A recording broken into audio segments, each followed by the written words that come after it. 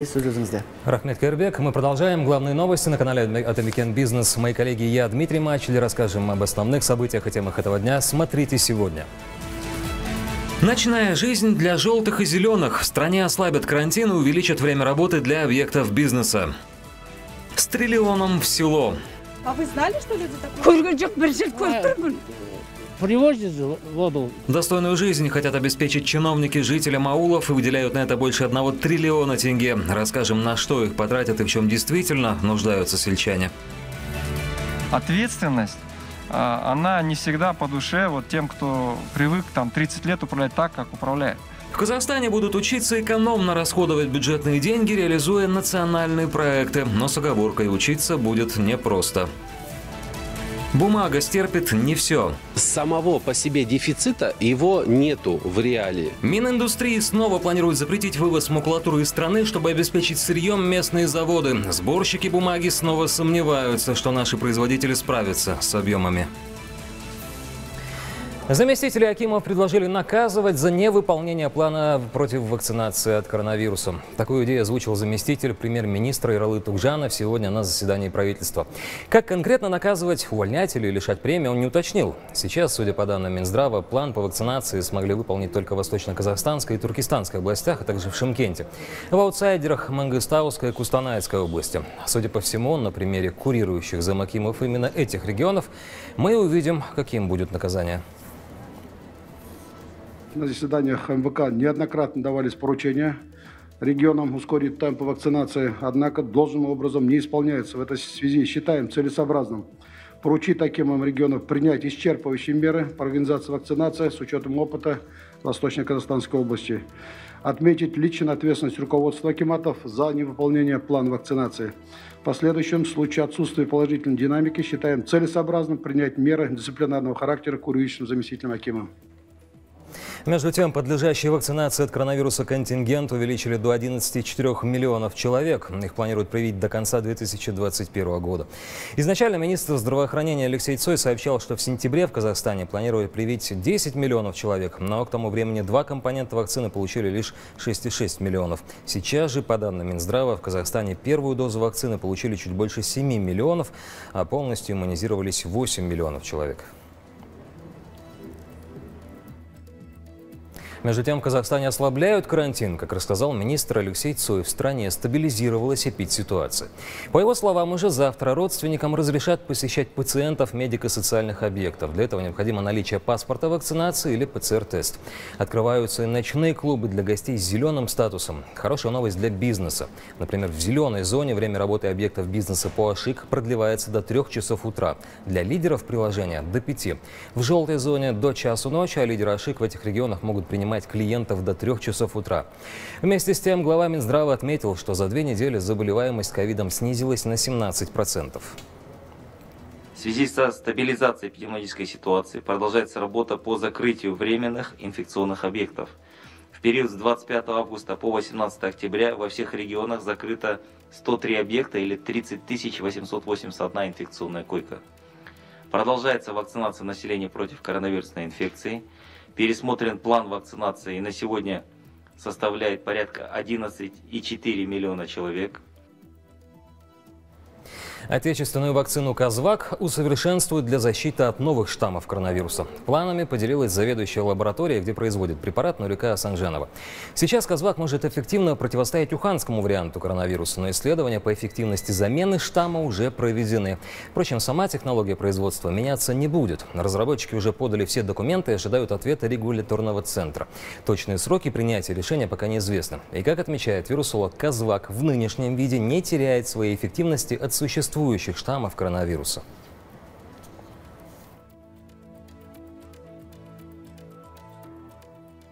Любое изменение должно получать э, разрешительный какой-то э, момент от регулятора. Э, для этого мы сейчас уже подготовили всю документацию, э, где были проведены исследования на лабораторных животных по эффективности именно э, замены штаммов от уханьского исходного штамма на дельта-штамм. Э, пока вот э, мы в процессе работы с регуляторами. То есть насколько эффективно? Сейчас в стране произведено около 1,7 миллионов доз препарата, а до конца года планируют произвести еще 1,3 миллиона. Около 30 стран уже обратились в МИД с просьбой поставлять им нашу вакцину. При этом в сам институт, где ее производят, обращались 12 стран. Но своей первостепенной задачей институт ставит обеспечение внутреннего рынка.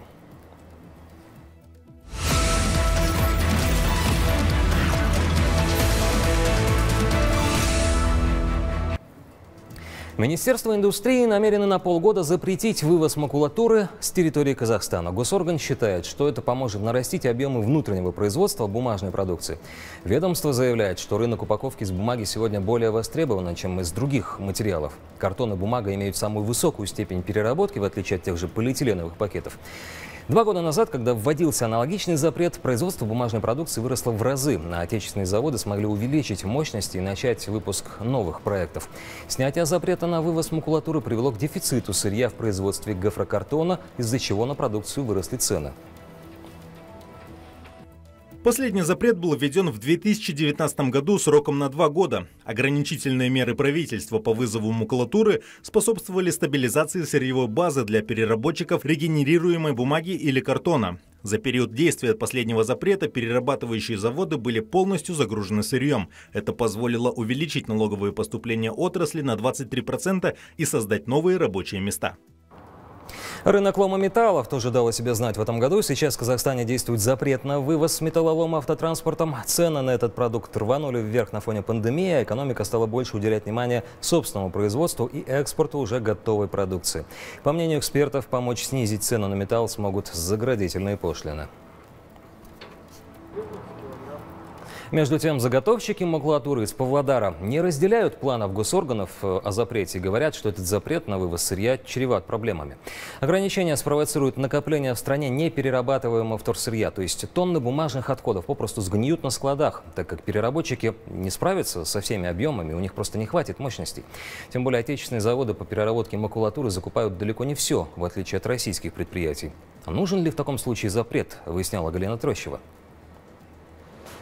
Павлодарские упаковщики, изготовители коробок сетуют на удорожание сырья, а именно картона и бумаги. С начала года их стоимость в Казахстане выросла на 50%, а все из-за нехватки макулатуры. Около 170 тенге было за квадратный метр нашей продукции.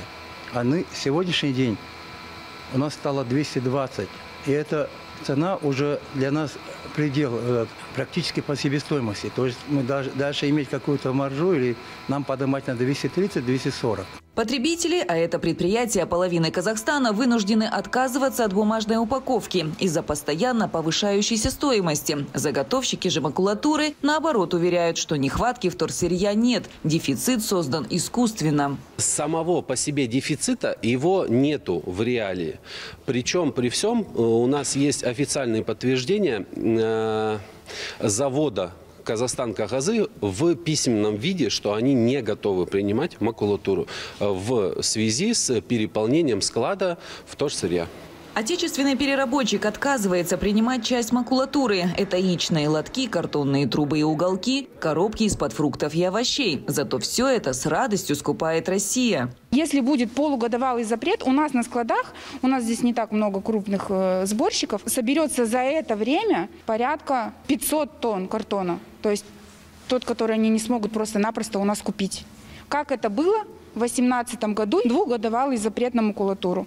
У нас просто гнило все в складах, лежало мертвым грузом. Лучше нас, казахстанских заготовителей, загнать в самый угол, приезжать, так скажем, к ногтю, э, закупать у нас за копейки, нежели дать нам возможность играть на свободном э, рынке вторсырья. Мораторий участники рынка называют нечестной игрой. Они все же надеются, что правительство примет верное решение. В противном случае запрет на вывоз приведет к захламлению полигонов. И в проигрыше останутся десятки казахстанских предприятий. Галина Трощева, Кайрат Алпызбаев, телеканал «Атамикен Бизнес», Павлодар. Похожие проблемы у производителей пластиковых изделий. Они жалуются на то, что за 10 лет объемы производства у них снизились на 80%. Связано это с недостатком вторсырья, которое в большей массе приходит с мусорных полигонов. На сегодня основной объем собранного для переработки пластика уходит на российский рынок, там покупают дороже. При этом наши полигоны занижают наличие сырья, чтобы основные объемы сбывать как раз на рынке соседней страны, говорят переработчики. В связи с этим в Ассоциацию упаковщиков Казахстана предложили ряд мер, в том числе ввести аналогичный запрет на вывоз непереработанных переработанной ПЭТ-тары. И второе, учитывая то, что на полигонах, полигоны работают мусорно бесконтрольно в основной своей массе, да, за исключением там одного-двух полигонов, которые открыто работают и являются образцово показательными. То есть мы предложили передать управление полигонами местными исполнительными органами именно предприятиям, которые этой переработкой занимаются. Владельцы мусороперерабатывающих заводов жалуются на отсутствие поддержки со стороны местных властей. Дело в том, что такие предприятия в Казахстане есть не во всех областях, вести сырье в соседние регионы за границу обходится слишком дорого. А чиновники к сотрудничеству не готовы. Стороны выслушала Вера Шеллер. Это все токсичные металлы, которые попадут в природу, если их не собрать. Коробки с использованными батарейками и энергосберегающими лампами из Карагандинского экомузея отправляются на завод по переработке промышленных отходов. Там они просто хранятся. В Казахстане, к сожалению, такое сырье нигде не перерабатывают, а вести вагоны батареек в тот же Челябинск предпринимателям слишком дорого. Поддержки от государства нет. По мнению экологов, запрет на экспорт вторсырья поможет наладить переработку ТБО в нашей стране.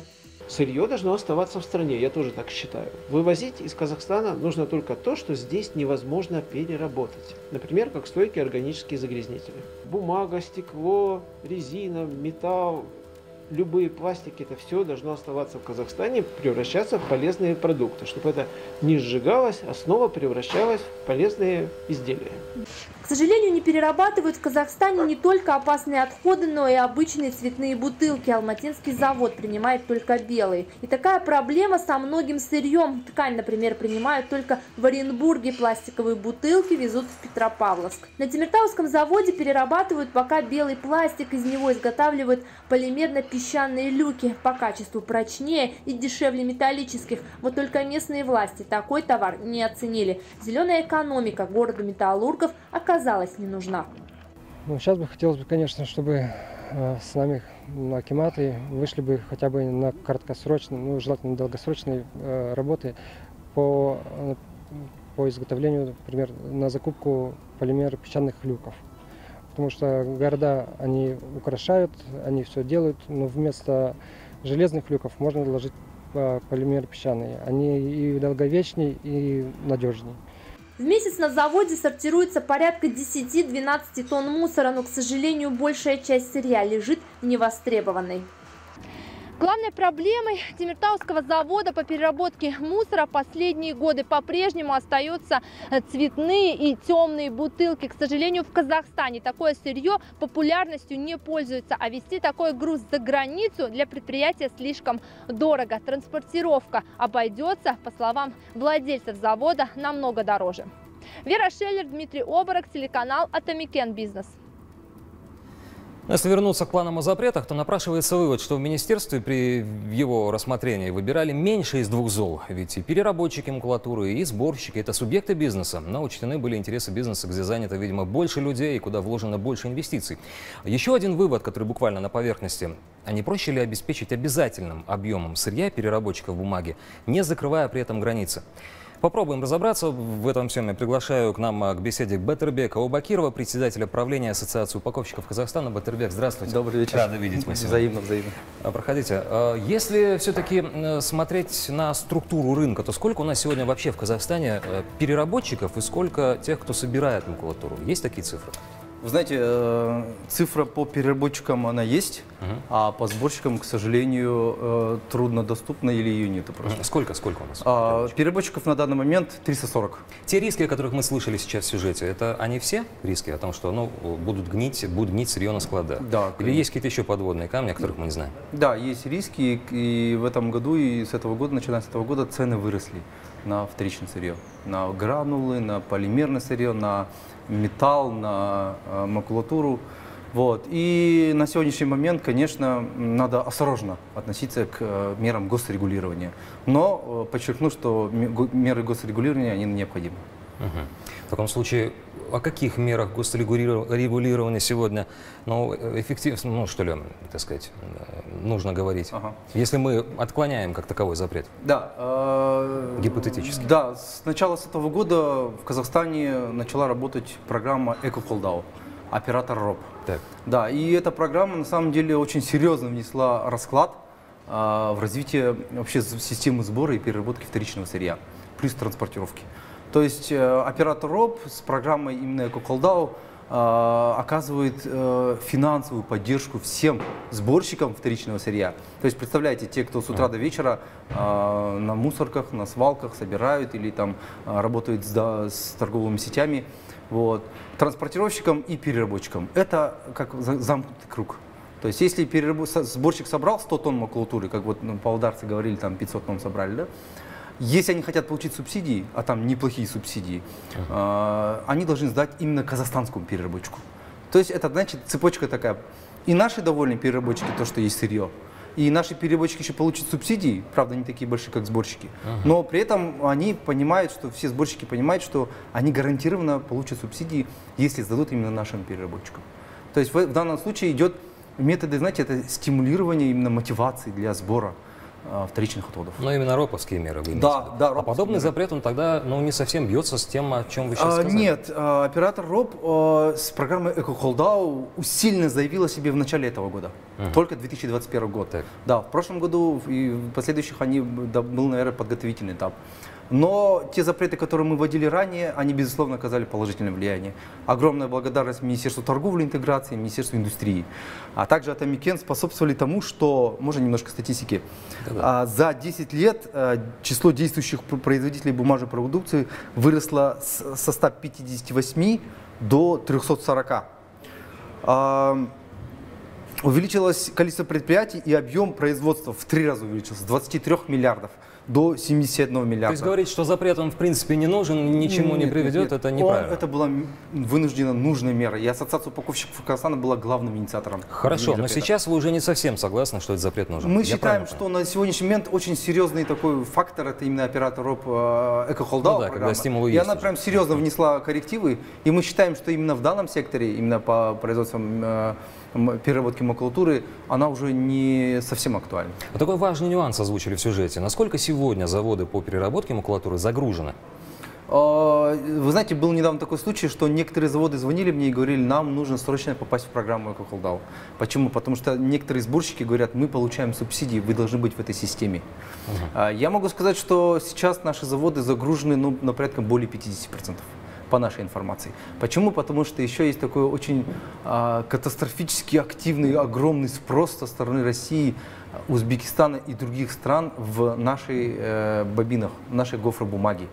Почему? Потому что ситуация складывается тем, что пандемия повлияла на спрос населения, и многие люди сейчас, особенно в э, Юго-Восточной Азии, предпочитают заказывать еду домой.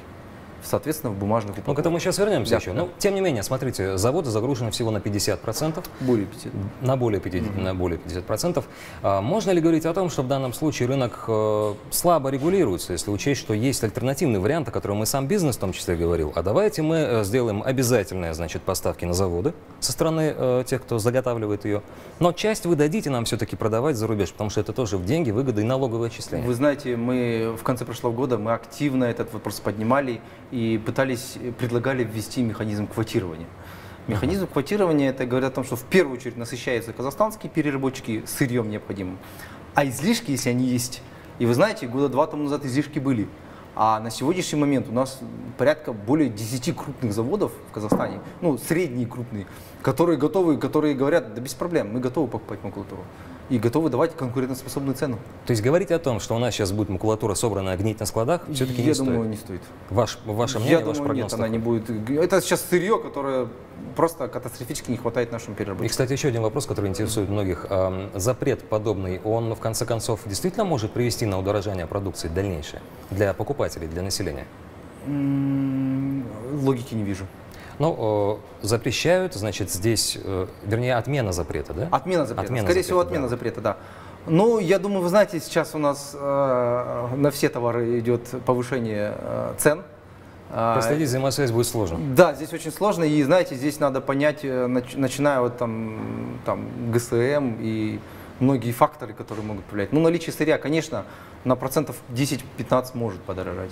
Если будет Ну, тоже недостаток... не маленькая цифра, Да, да, но вы знаете, в себестоимости товара все-таки упаковка, она не такую большую роль играет. Но а, Конечно, когда есть, э, э, ну, я вижу фактор еще конкуренции. У нас, если раньше, года два тому назад были один, два, три крупных завода, или там заводы, которые могли предложить свою продукцию, в этом году мы ожида- уже видим, что, опять же, от действия прошлых запретов, э, катастрофическая ситуация поменялась, катастрофически в хорошем смысле этого слова. Ну да. И в нашем случае сейчас даже будет конкуренция. То есть за тех или иных крупных э, потребителей упаковки будет конкуренция, и, соответственно, цены будут, э, иг- игра с ценами будет, то есть э, в результате конкуренции цена должна быть э, адекватной. Хорошо, а почему, кстати, в России дороже покупают э, наше сырье? Вы знаете, а, наверное, мы обратимся все-таки к, к Советскому Союзу. В России изначально всегда была инфраструктура более мощнее, чем в Казахстане.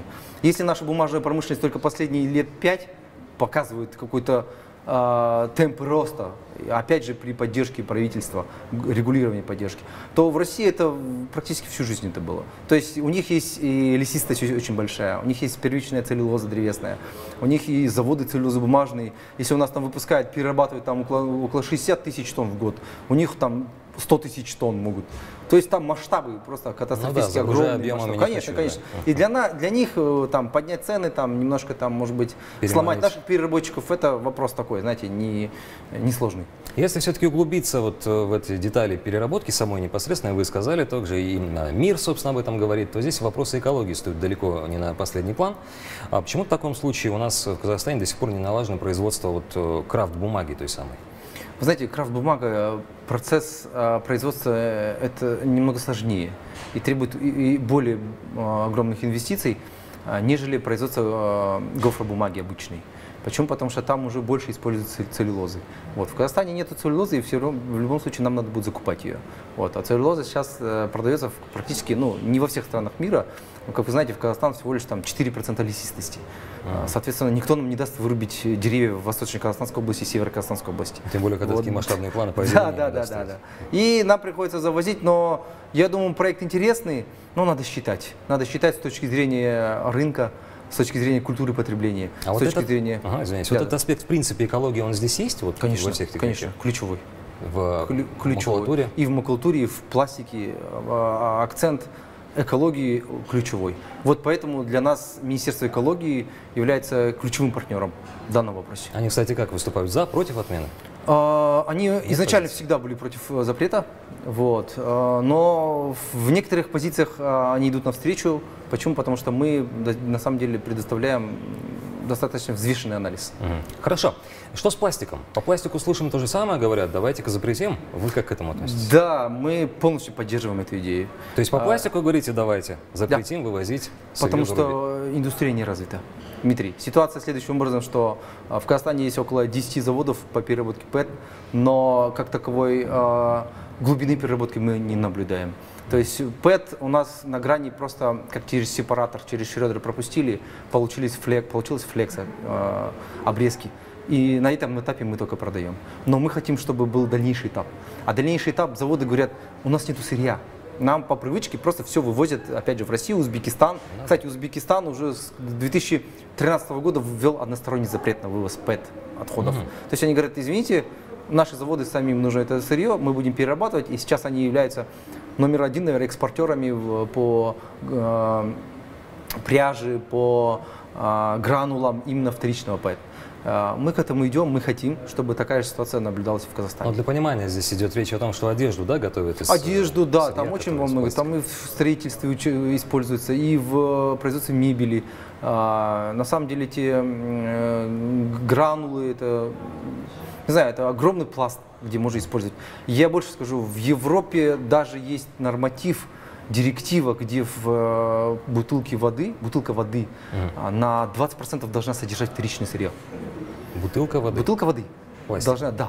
Да, она должна уже 20%. А в в 2030 году должна 30%. То есть, понимаете, это не первичное, они уже понимают, что надо немножко в рамках программы и экономики замкнутого цикла должно быть стимулирование именно сбора и переработки вторичных отходов. Но в Европе, что говорить, там много инициатив, там и фонтаны ставят бесплатно, чтобы люди меньше, наоборот, покупали эту пластиковую воду, да, мы знаем. Да, да, да, есть А вот э, согласны вы с тем, как отмечалось сегодня уже вот в предыдущем материале, о том, что э, полигоны, да, немножко занижают вот эти объемы для того, чтобы вывести за рубеж? я вам, больше скажу, я вам больше скажу, тема полигонов для нас такая, знаете, как вообще закрытая тема. Почему? Потому что мы не знаем, что там происходит. Mm.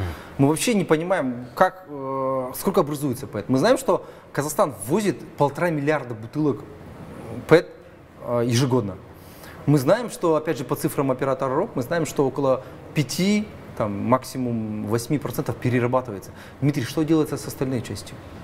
Я боюсь предположить, что она сжигается, отравляя почву, воздух, а, захоранивается, отравляя нашу почву и воду.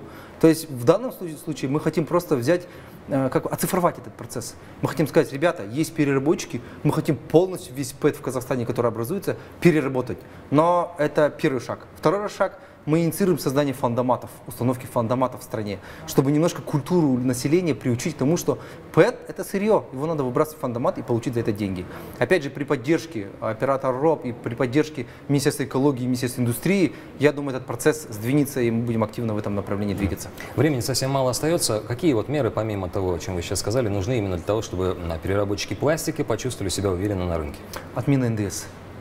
Да, ситуация такая, таким образом, что э, в Казахстане и пока сборщиком и в целом переработчиком отменили НДС именно по переработке лом, э, э сборщиком лома.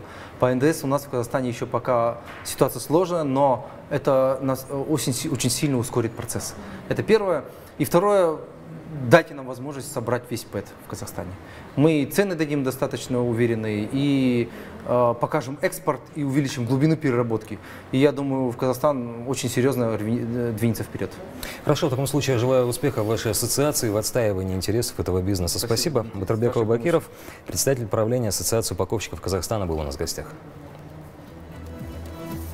На безотходное производство переходят тем временем мелкие рисовые хозяйства Козловодинской области. Иначе, по словам крестьян, им просто не выжить. Дорожает ГСМ, удобрения, сельхозтехника и запчасти. Затраты высокие даже при небольших посевных площадях в 300-500 гектаров. На новый этап рыночных отношений переходят десятки мелких хозяйств. Если раньше рисовую лузгу вывозили на свалки, то сегодня сбывают и шелуху, и мучку. Сейчас обрабатываем, шелуху сделаем, а, вот так там такой мелком виде. Когда перерывается рис, она мучка с полировкой, она выходит, корм выходит для этого, для скотов. А это... А дробленка? А дробленка это от риса выходит. А дробленка это тоже это маленький сорт риса, но она э, тоже потребляет для этого. Ну, из него крахмал делает. Вот, особенно дробленка покупает Россия. Между тем, рисоводство, по прогнозам специалистов, постепенно теряет свою привлекательность. Два года назад были отменены субсидии на гектары посевов белого злака. Осталось лишь частичное возмещение затрат на поливную воду. Модные бренды ответственны за большую часть загрязнения природы и потребления ресурсов. Об этом заявило издание Esquire. Уже на протяжении многих лет различные модные дома были пойманы на уничтожении качественных, самое главное, пригодных для использования вещей. Хотя их можно было либо продать со скидкой, либо пожертвовать нуждающимся. Такая нелогичная ситуация является последствием кризиса перепроизводства. Компании, желая снизить налоги, собственноручно портят свой же товар. О подробностях расточительства в сюжете Тины Кудайберген. Наверное, не осталось в мире брендов, которые не были пойманы на недобросовестной спекуляции в погоне за снижениями налогов в получении льгот, которые возместят ущерб за якобы бракованный товар. Возьмем случай с брендом Coach. Блогерша Анна Сакс поделилась в своем ТикТок-канале обновками в виде разрезанных сумок, которые были найдены в мусорном баке рядом с магазином. Как оказалось, на сайте бренда есть целая программа с лозунгами о ресайклинге и осознанном потреблении, что очень иронично. У Coach есть программа по реставрации сумок. Надеюсь, обувь это тоже касается. Так что я собираюсь отнести это все им же и попросить реставрировать то, что они сами же изрезали. Видео стало вирусным в соцсетях, и у коуч не осталось другого выбора, кроме как объяснить ситуацию и обещать так больше не делать. Теперь мы перестали уничтожать поврежденные и бракованные товары в магазинах и стремимся к максимальному увеличению повторного использования таких продуктов в нашей программе Coach Reloft и других инициативах замкнутого цикла.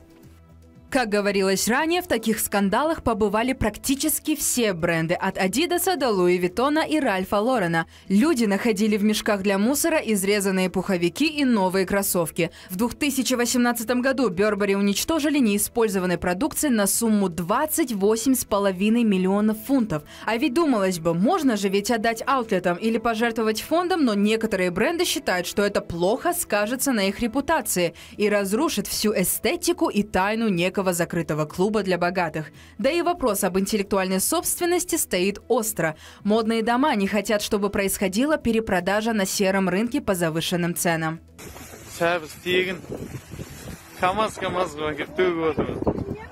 Казахстан в этом плане тоже не отстает. Только вчера в сетях бурно обсуждались картофель и морковь, которые были выброшены посреди поля в Павлодаре. И это во времена роста цен на продукты. Очевидцы жаловались, что можно было отдать это на корм скоту. А управление сельского хозяйства назвали все это дело рефакцией. Рефакция – известный процентный вычет за попорченный товар. В управлении добавили, что при закладке на хранение картофель и морковь, которые не соответствуют стандартам, считаются неликвидным товаром. Все очень просто. Некрасивая картошка с дефектом недостойна оказаться на прилавках. В случае же с брендами ситуация уже решается. К примеру, во Франции на законодательном уровне запретили уничтожать люксовые товары. Как заключает издание Squire, нужно снижать объемы производства, а не уничтожать то, что еще пригодно для использования использования. Тина Кудайбергена, Тамикен Бизнес.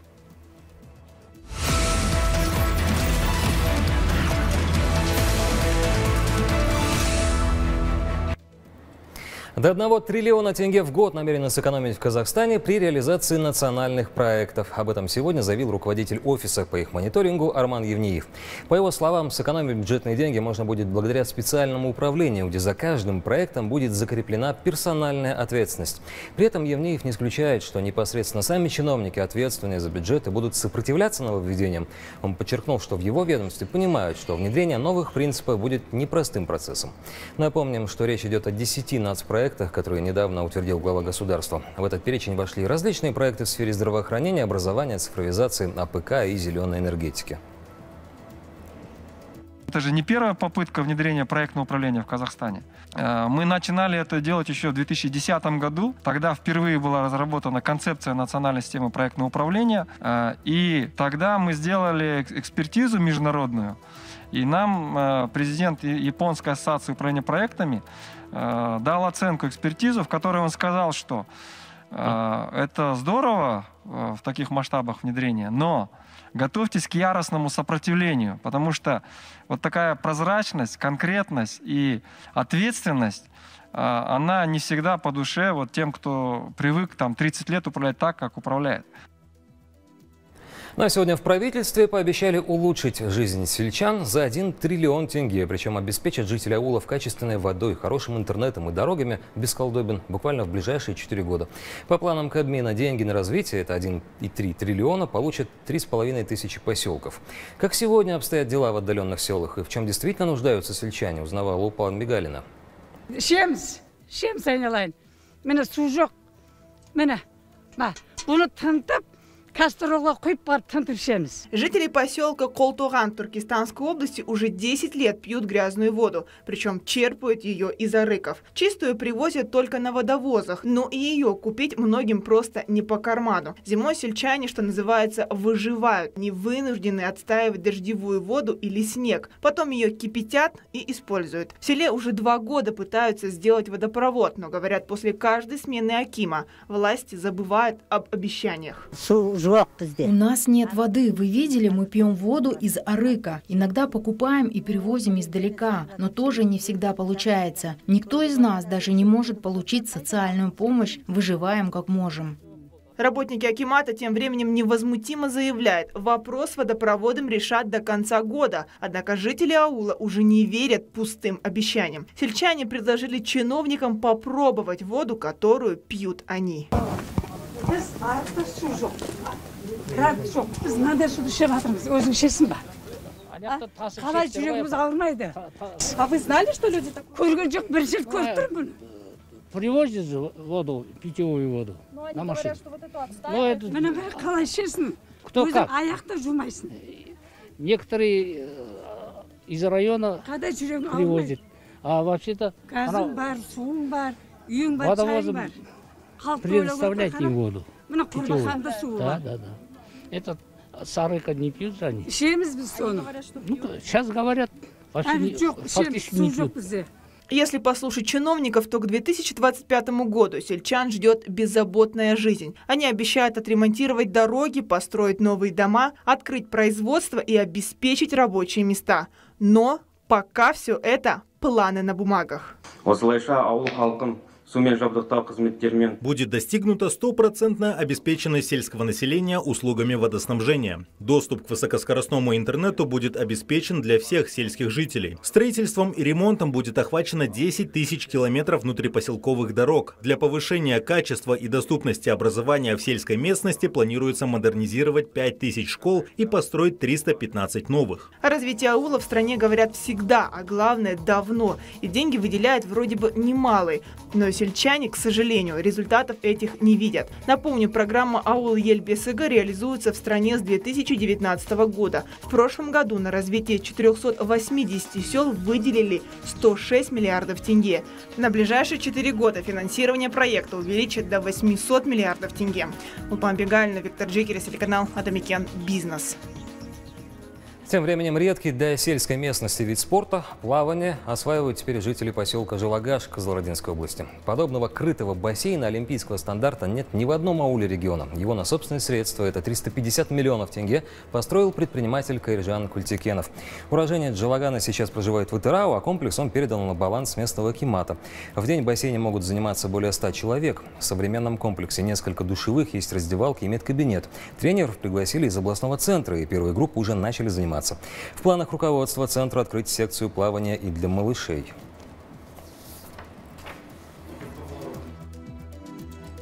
бұрында өзіміз дарияға түсетін едік Раньше мы на свой страх и риск устраивали заплывы в реке Сырдарье, но в последние годы там очень мало воды, не искупаешься. Поэтому летом с друзьями ездили в Кызылорду, купались в городских бассейнах. Сейчас всем классом записались в секцию плавания. В неделю четыре раза с удовольствием здесь плаваем. Открытие бассейна олимпийского стандарта э, 25 метров э, для нашего сельской местности э, огромный плюс. Я уверена, мы воспитаем не одно поколение олимпийских чемпионов, Ну и, как говорится, теперь о погоде. Аномальной погоды этой зимой не будет. Такой прогноз дает столичный гидрометцентр. Морозы и выпадение осадков – все в пределах нормы. Первый месяц зимы ожидается в южном, а в январе уже возможны северные морозы до 40 градусов. Зато февраль повторит прогноз предыдущих месяцев, то есть в северных регионах сохраняются снегопады и метели. На юге страны термометры покажут на 1 градус выше нормы. Несмотря на то, что лето в этом году выдалось засушливым и знойным, предстоящая зима осадками не побалует. Поэтому сельхозтоваропроизводителям придется задуматься о возможном снегозадержании на своих полях. Синоптики по этому поводу дают лишь рекомендации. Точных прогнозов они именно по этому поводу дать пока не могут. Циклон а с центром э, сейчас над югом Новой Земли, который, в общем-то, нам принесет хорошие осадки. И э, эти осадки будут и на юге Казахстана отмечаться, и в э, южных, юго-востоке республики, то есть мы в горных, предгорных районах мы ждем сильные осадки, выпадение сильных осадков. Вот, следом за этим циклоном выйдет еще один циклон, поэтому мы предполагаем, что осеннее, увлажнение будет ну, довольно-таки достаточным.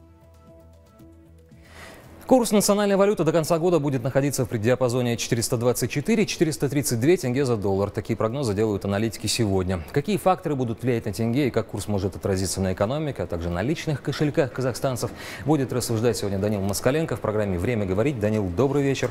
Добрый, добрый, Дима. Ди- Ну, так получается, что тенге слабеет. Я не пойму, почему, откровенно говоря, вот тебе. Вот ты, вот, ты сравни э, ситуацию. Нефть-то дорожает. Вообще нонсенс, да, именно в этом году на это все Да. обращают внимание. Да, Нефть идет да. вверх, а тенге почему-то Сейчас вниз. будем разбираться. И плюс еще, понимаешь, э, значит, рубль дешевеет по отношению к доллару, а рубль-то на нас тоже давит, у нас Ну большой да. импорт из России. А у нас, э, получается, рубль дорожает. То есть вот эти перекосы, мне интересно понять, что, что к чему здесь? Хорошо, надеюсь, удастся. Да. Время говорить. Данил Москаленко. Спасибо. Я Дмитрий Мачель. Прощаюсь с вами до завтра. Читайте, смотрите Atomic Business в социальных сетях. Увидимся.